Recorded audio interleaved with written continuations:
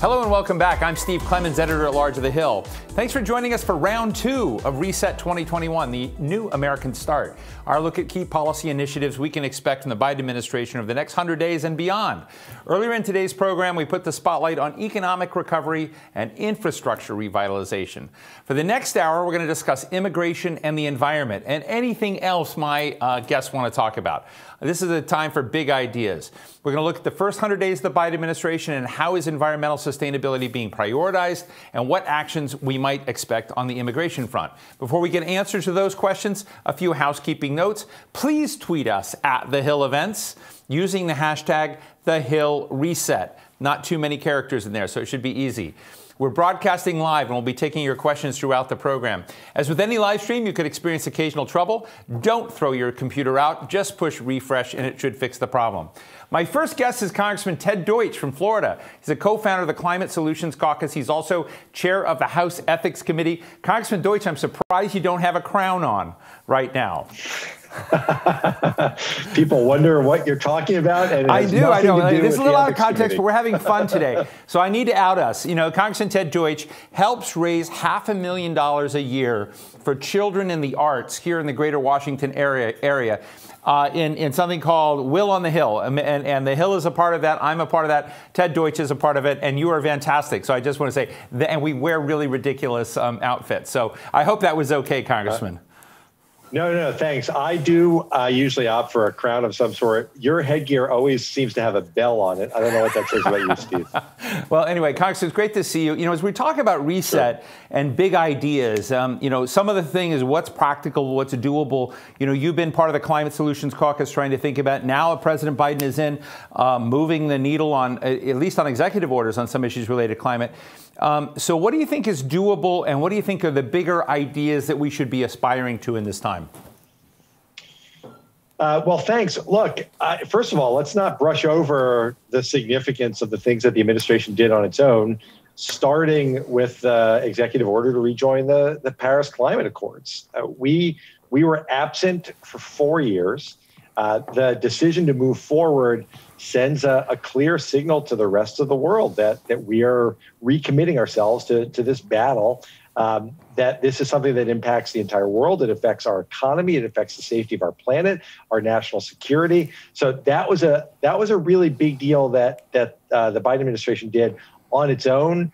Um, canceling the permit for Keystone I, again, I think is is something that uh, that sends a signal about how we're approaching uh, dealing with carbon and that leads, and then there are lots of other executive orders, but that leads to your question and the, the big things. I, have um, I've maintained that anything we do, and I think people acknowledge this, has to be bipartisan. Certainly, if we're going to do a big climate related uh, bill, something that's going to really address climate change and change the behavior of polluters.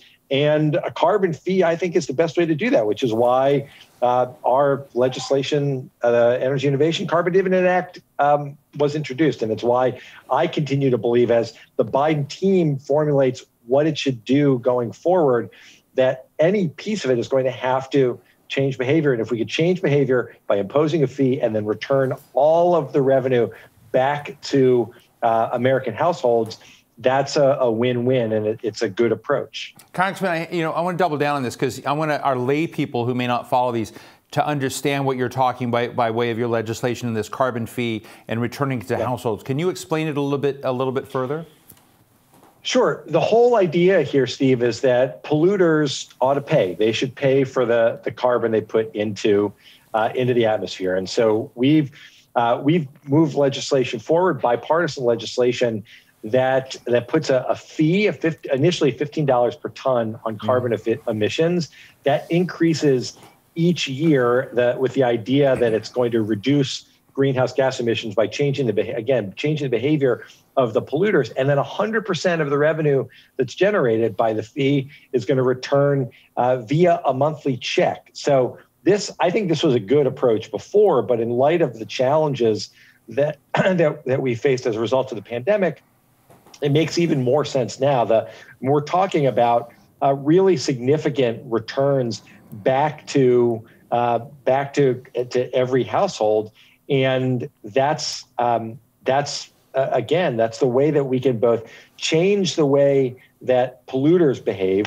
Uh, it's going to reduce carbon output. It's going to reduce carbon, carbon output by uh, close to 40% by 2030. Just doing this alone, that'll exceed our Paris commitments and an annual dividend of over $1,400 for each eligible adult uh, by the time it's fully implemented. So that's what we're trying to do. And, and um, again, we think, and the analysis bears this out, that this would help protect public health and it will contribute to public welfare. You know, for a lot of you listening, this has a lot of the dimensions of the Alaska Permanent Fund. You know, taking you know taking a, a common good or asset, distributing out uh, returns to to the broad public as they do in Alaska with. Uh, uh, uh, oil and gas revenue, which they distribute. Um, I used to be at the New America Foundation. Ted Halstead was kicking around with this. What I find interesting about this subject is that there are a lot of conservatives that support it. I mean, so what do you think the the possibility of getting uh, a lot of bipartisan support on this on this initiative uh, might be? Well, there is there's a a range, uh, a pretty broad range of supporters, uh, environmental groups and business groups uh, who recognize that we need to do something and also acknowledge that this is the right way to do it. Uh, and Steve, I come from South Florida, and down here, climate change, sea level rise being the, the one thing that we see all the time, it's not that's not a partisan issue. And so the county elected officials, the local elected officials have all come together in South Florida to deal with this issue in Congress. Uh, we need to bring people together also because the challenges of climate change aren't limited again to any one part of the country, red or blue. We've seen the impact on on the severity of storms, the the uh, the fires, the dangers that it poses to our, our the risks that it poses to our national security, um, and we've seen this literally flooding eh, literally every part of the country. So um, it is it is bipartisan, and because there's support again from both environmental groups and business groups, uh, we think that with with their help, we might be able to push other members who otherwise might not take this up as a big priority uh, to do that. And because President Biden is committed to doing something, so uh, we should be working toward achieving that goal because we're moving forward one way or another. Well, your point was well made because we had uh, Francis Suarez, the mayor of Miami, on just before you, just a few minutes ago, making. I asked him, tell me the one thing you would tell Joe Biden if you were able to talk to him right now, and he says, climate, climate, climate. You know, look, you know, look at look at these issues. Look at you know a serious set of initiatives around that. So, uh, and and Francis, um, I think, is still a Republican. Well, you know, I'm not quite sure, but I think you know that that tells the story a little bit. But let me ask you, you know, something a little bit more um, uh, on this to you know, make it a little bit more controversial. So you've got John Kerry out now as our climate envoy, and you know we're back in the Paris Climate Accords. There's a lot of coordination, and you know China, as best I can tell, also has been supportive of moving along this way.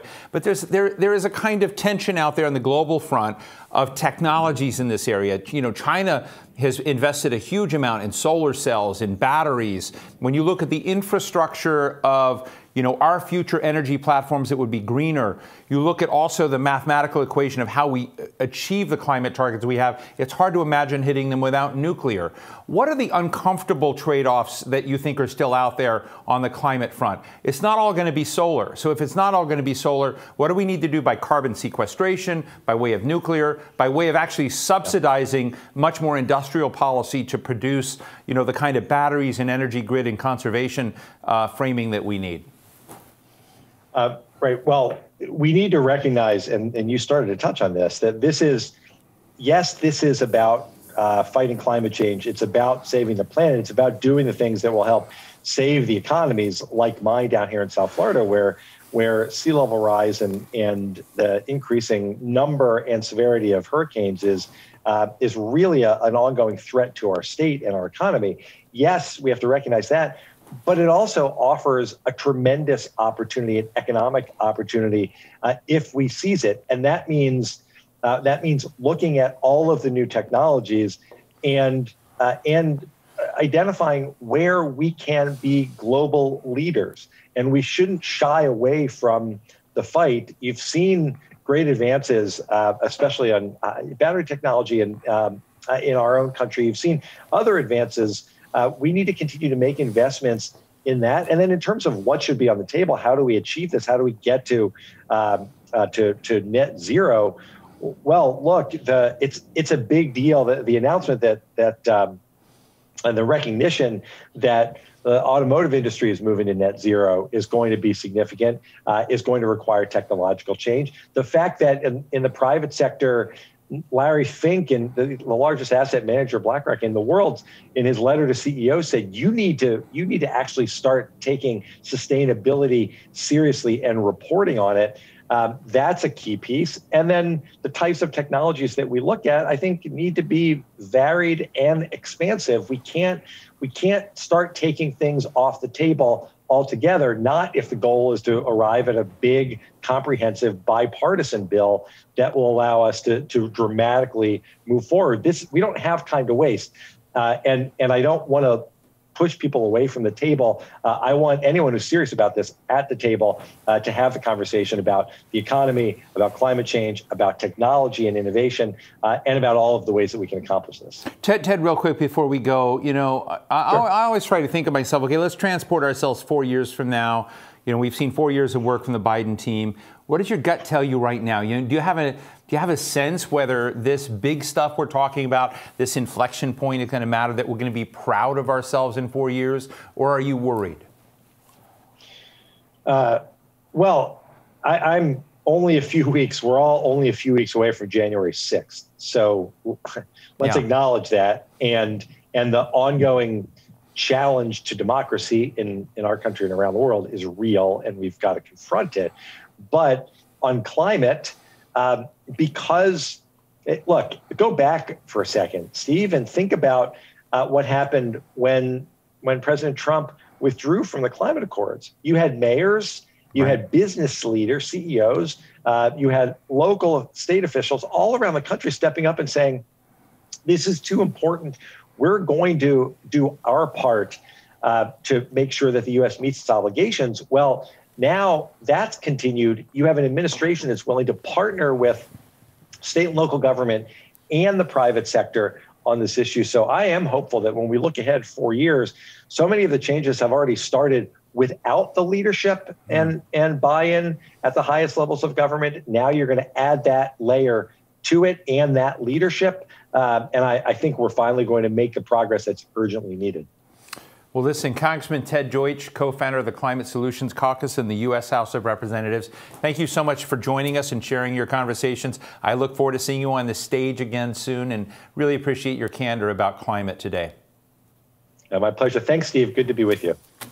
My next guest is Mayor Todd Gloria of America's largest border city, San Diego, where I've spent a lot of time. I want to tell him that up front.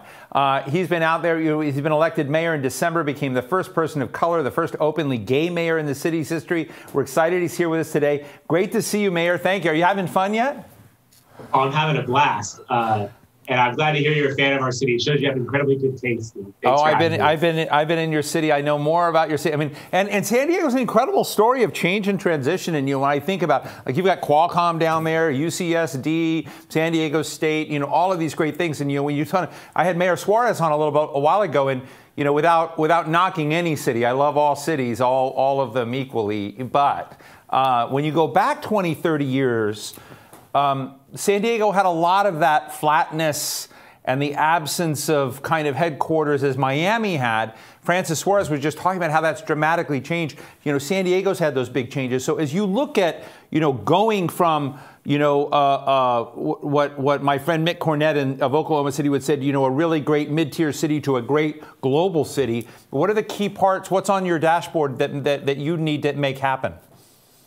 Yeah, I love that question, Steve. You're giving me chills because you're exactly right. I think my election uh, hopefully is representative of a different kind of San Diego, right? We are the eighth largest city in the country, and we're going to start acting now.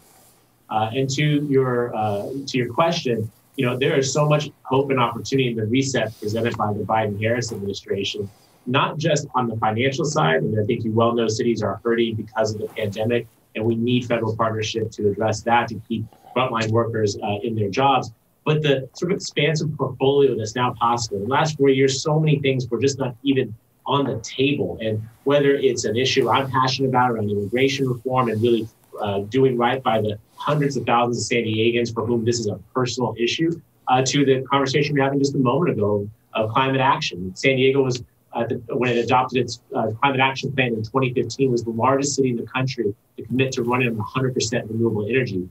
We did that at a time that we were losing federal partnership. Now, to be able to advance that goal with federal leadership is going to be transformative. You know, well, let me ask you a question. I mean, um, so I, I have known San Diego for decades. You know, we had the maquiladoras across the border. You had a lot of awareness of the, the, the, the Tijuana San Diego border. And whether there was Republican leadership or Democratic leadership in San Diego, everybody was aware of this important of binationality, of immigration, of free flow, of trade. You know, things like NAFTA were good. What do you think kept that spirit of understanding of dynamic immigration and a multi-ethnic uh, uh, city by cities from taking hold elsewhere in the country. I was always intrigued that I could find incredible conservative leaders in San Diego that seemed so enlightened, but I didn't see that uh, replicated elsewhere in the United States at that time. Well, all things are local, right? And that uh, was really born out of necessity. We see ourselves as two cities, two nations, but really one community, one family. Uh, and for San Diegans, crossing the border is not a novelty. It's what they do to go to work or uh, to see family. And so that just sort of breeds the need to be bicultural, binational, uh, and to work in a cooperative fashion, as you say, in a nonpartisan way.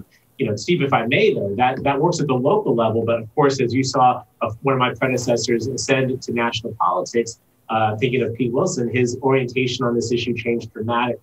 Um, right. and I think, again, that's the difference that this new administration can bring to bear. Uh, we know Joe Biden's heart on this issue on immigration and on uh, international cooperation will support San Diego uh, and our, our, the needs of our community. Uh, so um, it is, uh, again, it's, it is a hyper local focus to have that kind of cooperation. It's just important to have partnership at the federal level because much of that binational relationship depends on federal partnership. We're trying to build an additional port of entry here in San Diego that would uh, make it easier for folks to cross. So quite a contrast between the wall that has been advanced over the last four years. Uh, but those permits are often required by national uh, government. They require international treaties with our partners in Mexico, and having a Biden administration as a partner in that effort would make it much more likely that San Diegans will quit having to sit in traffic for hours on end trying to cross back and forth. But instead, we have the free flow of people and goods, uh, not only supporting our citizenry, but also supporting our economy.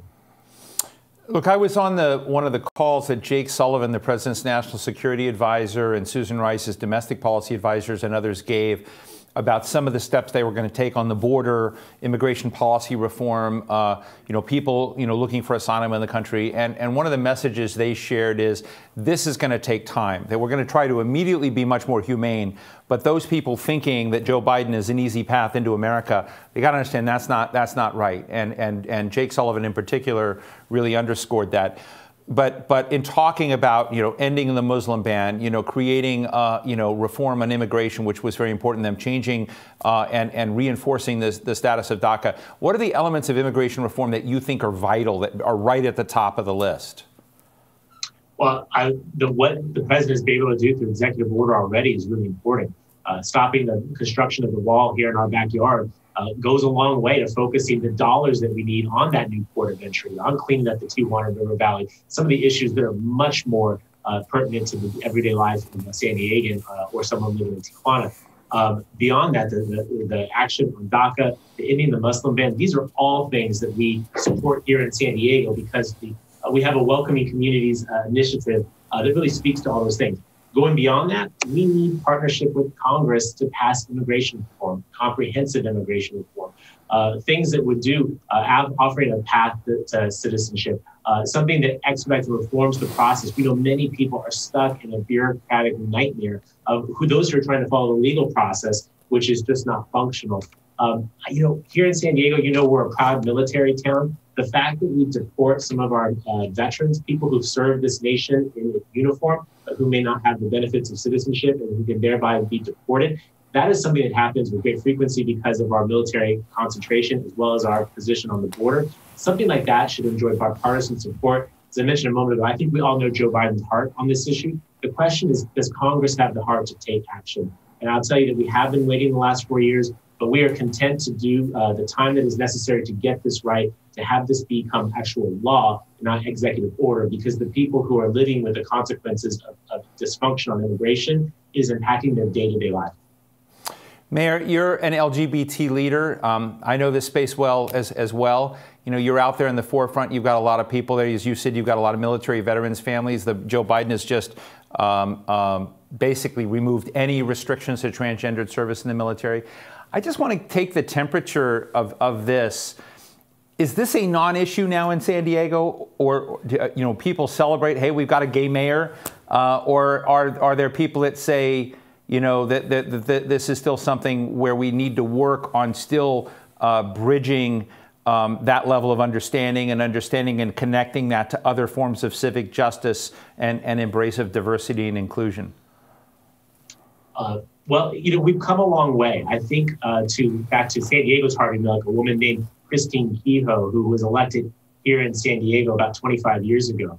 Um, and so there has been now, you know, a couple decades of LGBT representation in office here in San Diego, and, and uh, it has made it less of a thing. But Steve, it's still very much a thing. You know, when I was in high school, I had a teacher tell me that you could not be an elected official if you were openly gay. Uh, and here I am today. Uh, I'm representative of progress, but I really recognize the fact that whether it's LGBTQ youth or the children of color of this city who have never seen anyone that looks quite like them in the mayor's office, uh, think about the context, Steve. I'm here on the US Mexican border, I'm here on the Pacific Rim. It has taken over 150 years for this city to elect a person of color, let alone an LGBTQ person, to the highest office in the city. We still have a lot of work to do. And much like our vice president, I'm committed to being the first, but not the last. Well, Todd Gloria, Mayor of San Diego, I'm really, really happy to talk to you. I hope you'll come back many more times.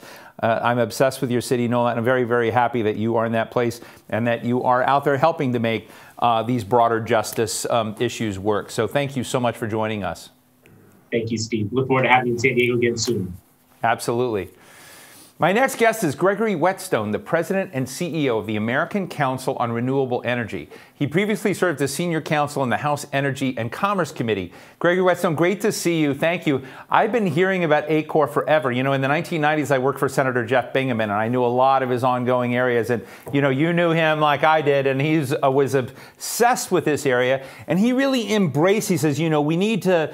We need to put the things in place. This is not going to happen on its own and, and you have a subsidized fossil you know, fuel industry, and we didn't have the things here. But let, let me just ask you, you know, how is it going? Uh, is, is gravity moving the right direction to get us towards a renewable ener- energy infrastructure in this nation? Tell us where we are.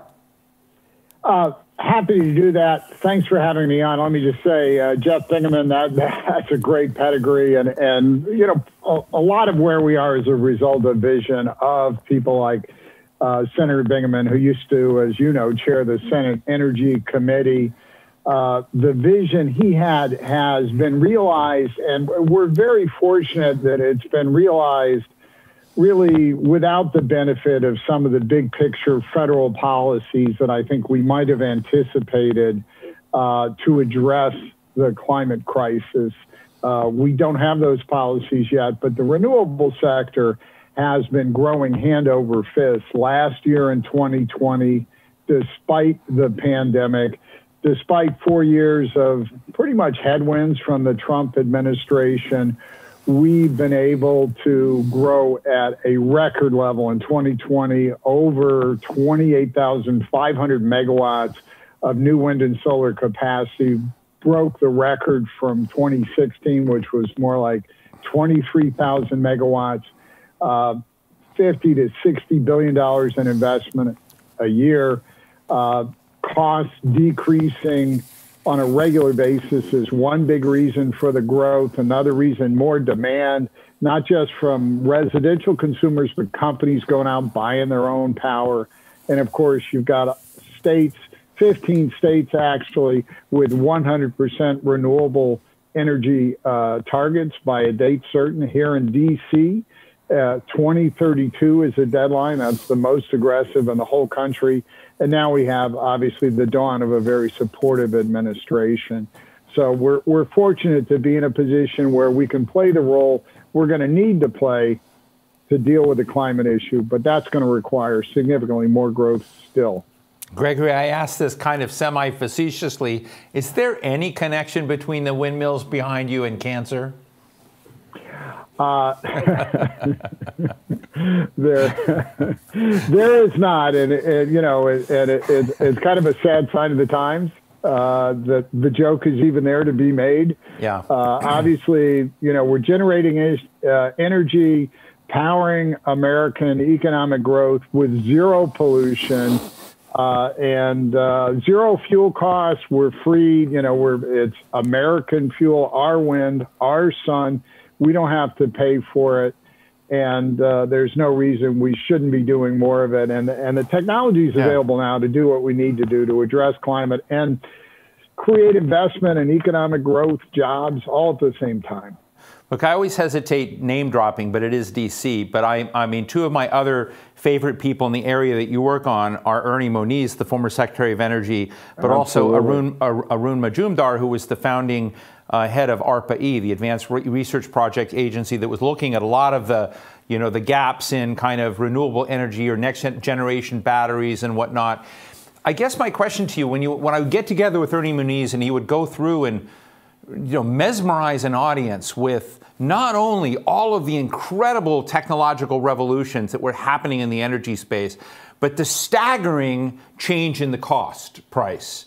And, and so I guess with those two things, with, with, with technology jumping forward so much, you know, even in wind, even in, in, in, solar, which there, but a broad array of things that we need in the grid and other elements, but also the way in which the, the competitiveness of these industries with others there. Can you give our audience, can you break that out for a little bit for people so that we don't just say it in these big terms, but people get an understanding of how real the chance is that a transition is possible? Yeah, absolutely. I mean, to be clear, the technology is here. It's really about figuring out ways to get it deployed. Uh, wind and solar power have become so much less expensive over the past decade that in most of the country today, renewable power is the cheapest source of new electricity. Just to be specific, the cost of wind power has been reduced by 70% over the last 10 years, and the cost of solar power has been reduced by 90%. And those are rock solid figures. Happy to share the PowerPoint to any of your viewers, listeners who uh, want more data there. We've, we've got it. Uh, and this is very real. And that's one reason why we see so much more demand because it's cost effective. And you don't have to worry that there's going to be a, you know, global volatility in prices and your price is going to go up in five years. You know exactly what your prices are going to be. Gregory, um, last question. Uh, Joe Manchin is, is now uh, chairman of the Senate Energy and Public Works Committee, and John Barrasso is the ranking member. So Wyoming, West Virginia, right? They have certain kind of profiles that are less in the space of renewables than some other parts of the country. And, and, Senator Manchin has said that, look, he's for all of the above. He wants to work with all of these. He wants to get investment uh, in renewables and broader deployment in the country. But we also have to look about displaced workers and the systemic impacts of transition. Do, I, I know it's not your responsibility to do that, but I'm wondering if you've seen any progress, any smart um, angles on how a state like West Virginia, state less dense like Wyoming, can begin thinking about you know, bringing into the state some of these alternative energy possibilities that are linked to you know economic vitality for people and, and and their incomes. Yeah, that's a really important question today, and we're we're very focused on it. Those those opportunities are clearly there. We have renewable energy jobs in every state of the country. Uh, Wyoming, uh, you know, Senator Barrasso's state is a uh, just a gold mine of wind energy resources, and they're working on building out transmission. They're going to be exporting, you know, pollution-free wind power and uh, generating a lot of income for the state in the process. Uh, all kinds of opportunities in West Virginia as well. And I, I want to say, you know, we we're in the renewable sector providing opportunities for economic growth, particularly in rural areas across the country where you don't have a lot of other potential growth uh, drivers on anywhere near the same scale. And we can make a difference economically, you know, in the heart of coal country, give those folks a place to go. And, and the coal sector, it's not just renewables, it's also uh, natural gas, a variety of reasons.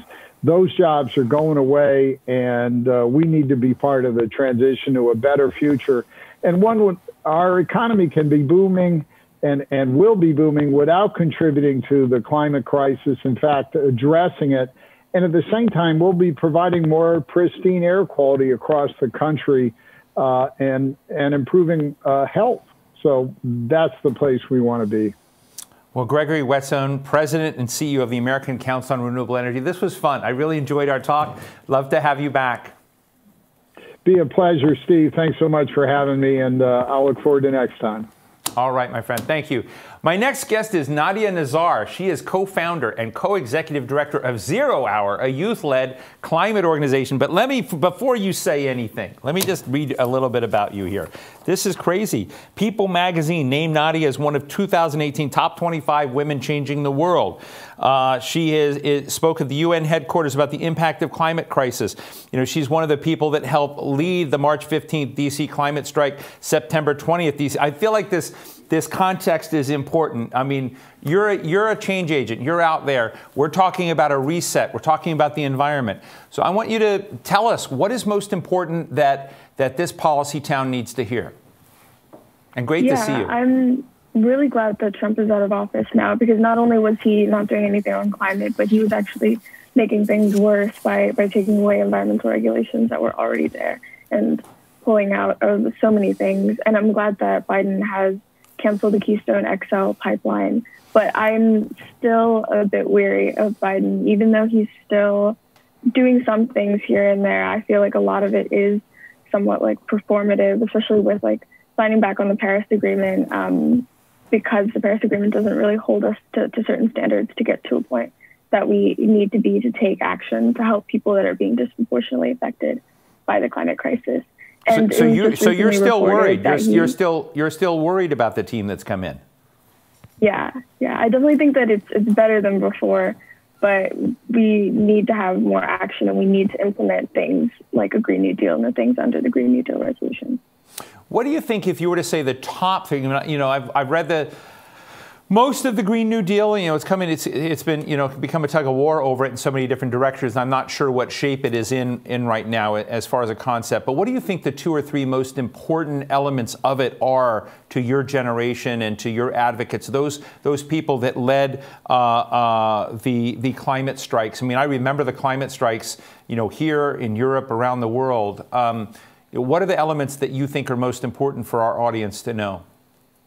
Yeah, definitely the main elements are just transition to renewable energy, making sure that people get jobs and fossil fuel workers are able to get jobs in renewable energy, as well as public transportation, um, proper animal agriculture. And I think a lot of it is just mainly curbing how corporations have exploited our land from fossil fuel corporations to animal agriculture corporations, the fast fashion industry. There are so many industries that are constantly running, and even in this pandemic, constantly taking more and more resources from our land and, and the way the planet works.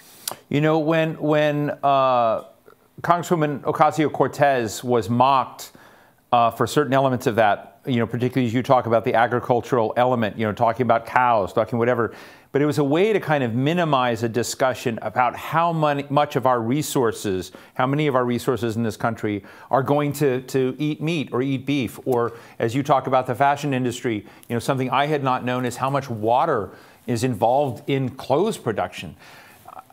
It made me realize there's so much I'm ignorant of about that. I think most Americans are. What do you think, Nadia, can be done to sort of elevate those so that people have a greater recognition of what a pair of jeans you know require by way of water what a you know a year of, of hamburgers um, means by way of environmental impact.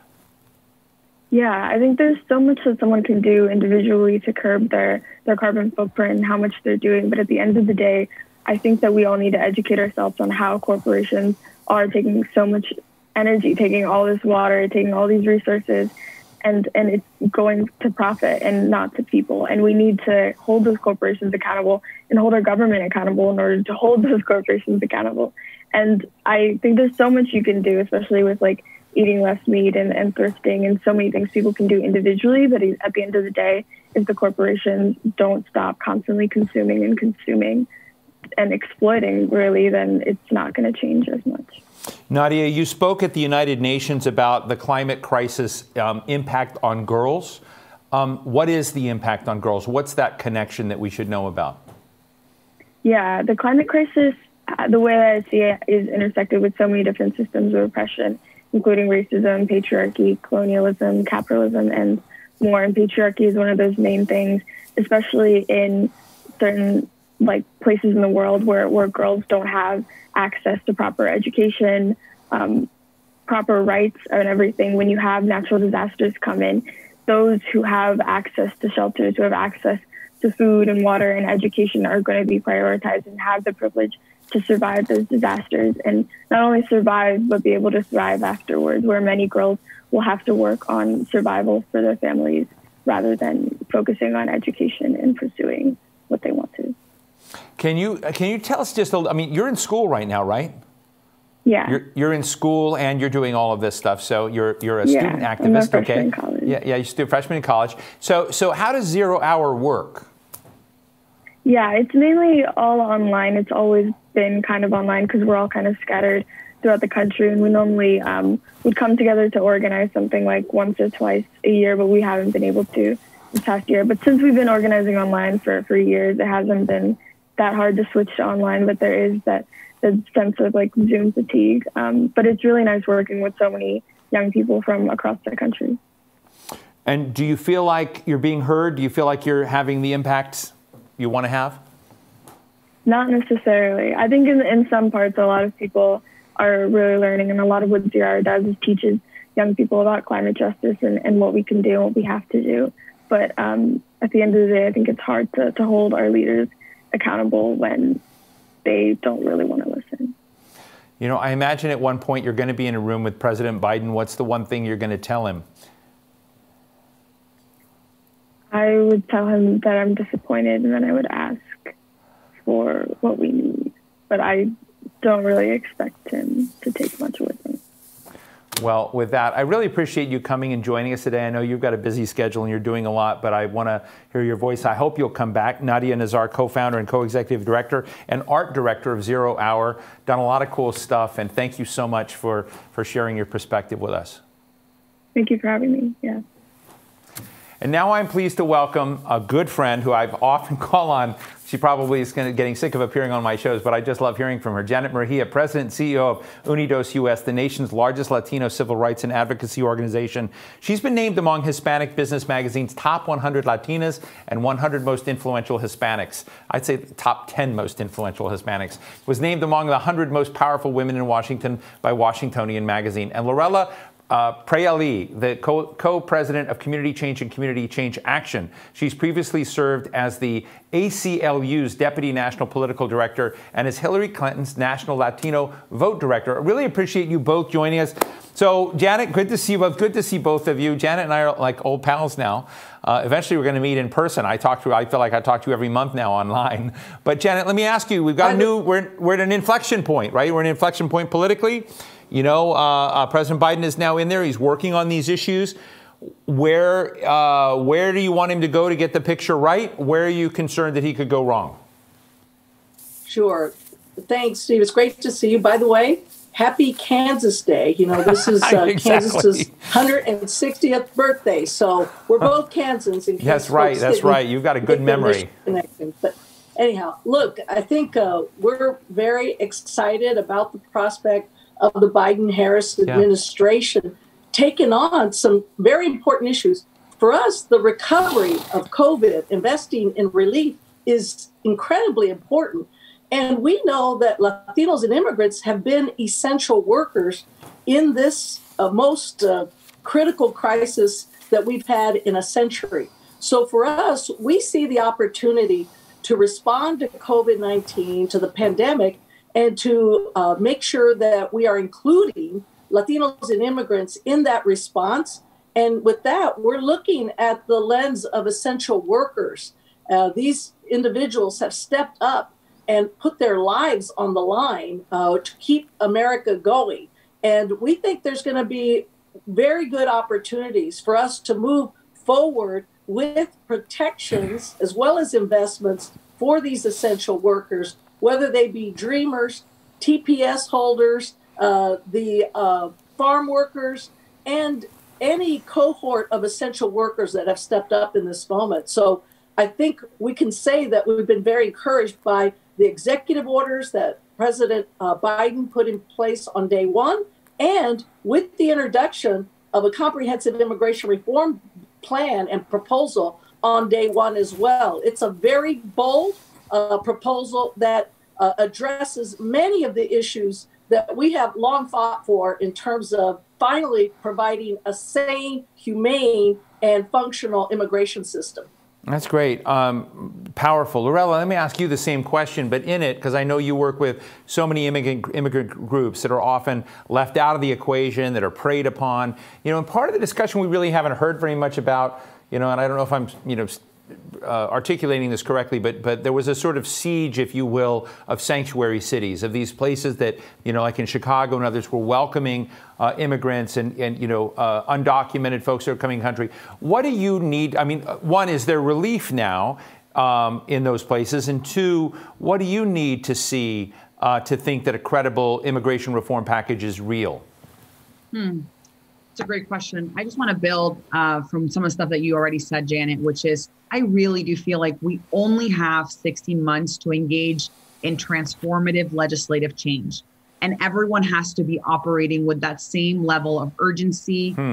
I think what COVID has brought to light in terms of the disparities, the structural barriers to a just economy, to an equitable healthcare system, all of that, right, has been uh, accelerated, I think, by the pandemic. And we are now in a position not just to tweak along the edges, but to really think about how to transform some of these systems and how to get these right, how to center racial equity in all that the government does.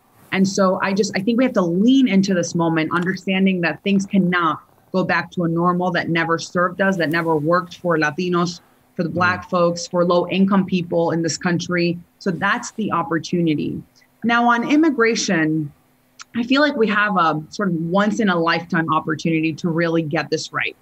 And I often remark on the silver lining to the Trump era um, being that it should now be clear to everyone that our system needs a massive overhaul and it can no longer lead with detention and deportation. Right. So there are reforms that need to be addressed as part of an overhaul to our enforcement apparatus. And then there's also relief. Now, I am proud of the work that our movements have done. I think it is because of the movement that President Biden has leaned in in the way that he has on immigration. Mm. It is long, many years of organizing, of building power from the ground up. And we do that with our partners all over the country. And we are committed to legalizing 11 million undocumented immigrants. However, in this moment, it's also critical that Democrats and the Biden administration use all of the power that they have in this moment. They have a Democratic trifecta to advance through early breakthroughs on immigration, right? And so that in this moment very concretely means that there are a set of bills that passed the House last year that they can get through the finish line immediately in the House, mm. send them to the Senate, and immediately, it means that as we talk about recovery as a country, that we also legalize essential workers as part of our economic recovery. And if many things are going to move via reconciliation, certainly we can get this done as well. Um, and so, you know, it's it's not abandoning the long term shot, but it's certainly moving away from the all or nothing strategy um, that we've utilized in the past. Well, let me let me just ask you both, Lorella and, and, and Janet. Janet, you know, works it in a nonpartisan way, you know, across uh, both uh, both sides of the aisle. You know, what you're saying is very FDR, very LBJ, very rewire the contract. You know, big moment. You've got to have some Republicans on board. Are there some Republicans on board, Janet? You know, I think there are. Look, uh, Steve, we recognize that there was broad bipartisan support for for those DACA beneficiaries, for those dreamers. We also saw in the last Congress approval and passage in both houses for a farm worker modernization bill that was bipartisan. And we've also seen in our data support for, in a bipartisan way, for help for essential workers. Right. I think obviously we have to explore that and we have to make good faith efforts to build on that bipartisanship. But we also have to learn lessons from before, Steve. And if there are not going to be good faith uh, efforts by Republicans to engage, you, know, the clock is ticking. Uh, as right. Lorella pointed out, we don't have time. Uh, we've got to make sure we make every effort to engage in a bipartisan way. We think there is enough consensus to build on and build out relief and protections yeah. for these essential workers who shouldn't have to be worried about their families being separated from them. To the contrary, who should be rewarded for the hard work that they've done. All of these cohorts, in some way, fit into that essential workforce definition. Right. And so we do believe we have bipartisan basis, but we're not going to wait and we're not going to make the same mistakes that were made in the past. We've got to be able to deliver and show that we have given relief to the country and to those folks who are deserving of investment, resources, and protections. That's yeah. powerful. I just want to, Lorella, um, please, yeah. To follow up on this, which is when you center people, right? And we get to work with these folks every day. When you center low income people of color, when you center low income people in the conversation, the politics become irrelevant, right? So it is actually not about whether we're talking about Republicans or Democrats. It is very much about how are we legislating for, how are we governing for people? How do we center people and their lived experience, their experience mm. of desperation in this moment, of abandonment, of destitution in our policy making and in our, in our policy design? And, and beyond that, how do we take this as an opportunity to both provide relief and reimagine and restructure our government systems, right. right? Our economy, our healthcare system, our immigration enforcement system, our criminal law reform system. That is actually the gift of this moment. That's the silver lining of this moment. Yeah. That out of a lot of pain and a lot of sadness and a lot of hurt in our country, there's some good that can come out of this if we realize that we have this opportunity, as you said, to treat it like FDR did with that level of seriousness and that level of commitment, right? And believe that America can and must do better. Okay, you know, I just sort of feel like I should make a date with you right now for 16 months from now. Say, did we do it? Did we not do it? So we'll have to do that. I mean, I talk to Janet every month, but you know, maybe we're going to all get together in, in 16 months. But Lorella, um, and, and both of you, again, I try to listen to as many of the media and press calls with the, the White House as, as we're invited to, but there's been such a blizzard of executive actions, such a blizzard of things. I mean, it's been an incredible 10 days or 11 days, however many days it's been. Um, and I haven't heard ICE mentioned.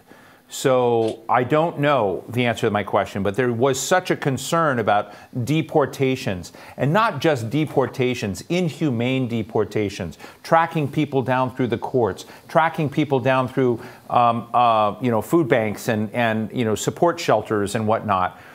Is has that stopped? Or I mean, you seem to know that world, and has the Biden administration, to your knowledge, done anything explicitly yet to address that part of the federal bureaucracy under their control? Um, ha- has ICE's behavior been shifted at all? Um, I mean, I'm going to say that we're only right coming out of week one.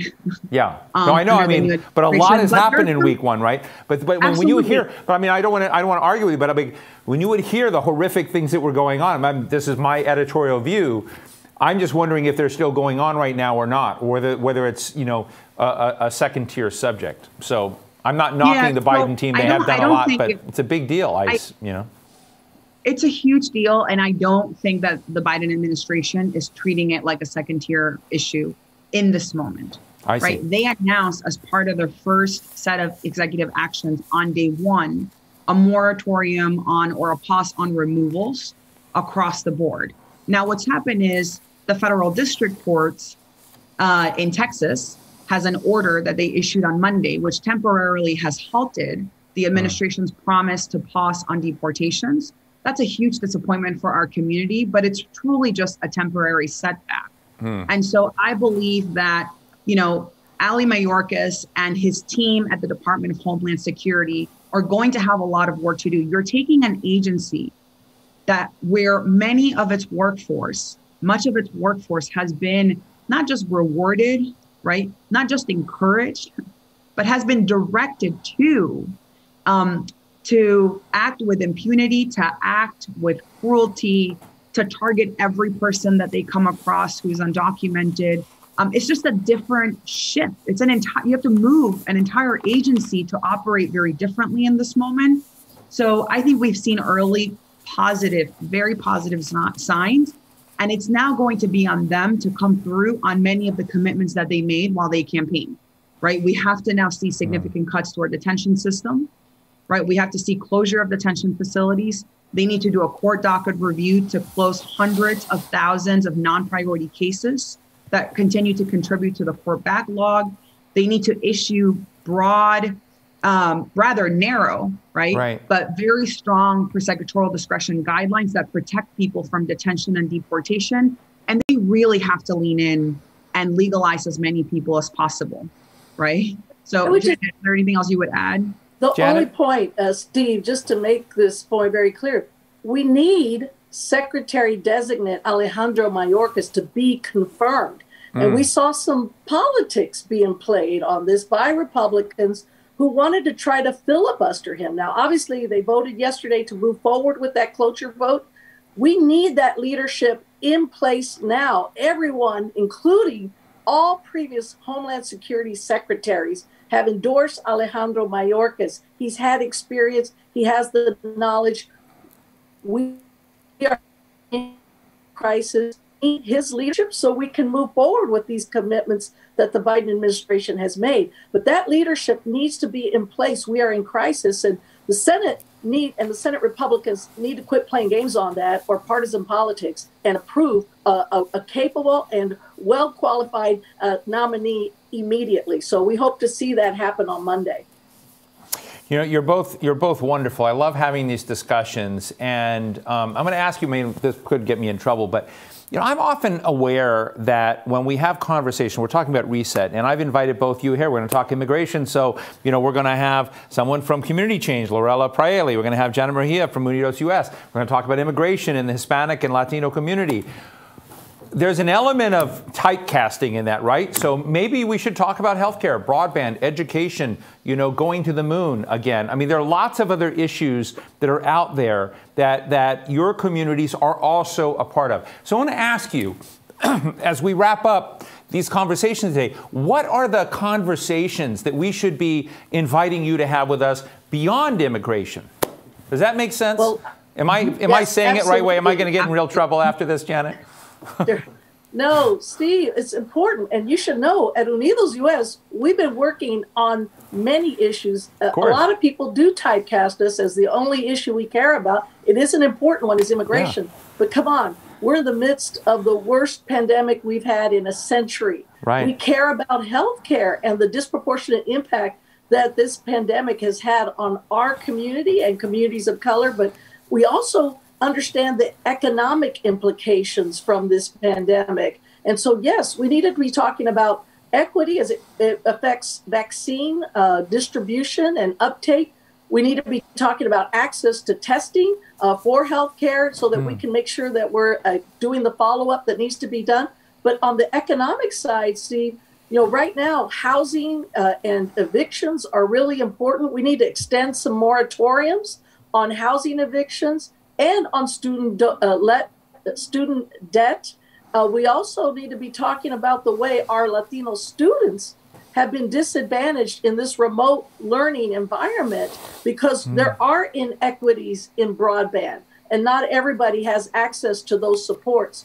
We're going to be working on this recovery package and looking at all of those issues. And it's important right. to take a comprehensive look at where that disproportionate impact has has affected our community and keeping equity top of mind as we look at this recovery. Cool. Lorella, mm-hmm. I'm going to give you the last word. Yeah.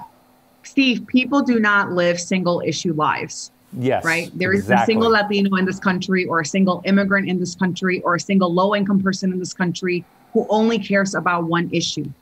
All of these issues, be it the economy, food and nutrition, education, economic relief, immigration, they touch on people across the board. And so we have to, especially in 2021, be talking about it and engaging in this conversation from that perspective. And at Community Change, we believe, we believe in the fierce dignity of low income people and their power to transform the laws and the policies and the institutions that govern their lives. And we have a racial justice and an economic justice approach here. And so you cannot talk about immigration without talking about access to healthcare. You cannot talk about economic justice without talking about racial justice. And in this moment, Steve, the conversations that we need to be talking about how are we not only solving for the emergency, but making sure, right, that we don't ever go back to the way things were pre pandemic? That in fact, America and Americans deserve a better, a more equitable, and a more just future. And we can do that if we get honest about our economy, our healthcare system, our education system, and the disparities that have long plagued communities of color in this country and low income people, regardless of race, right? regardless of ethnic background.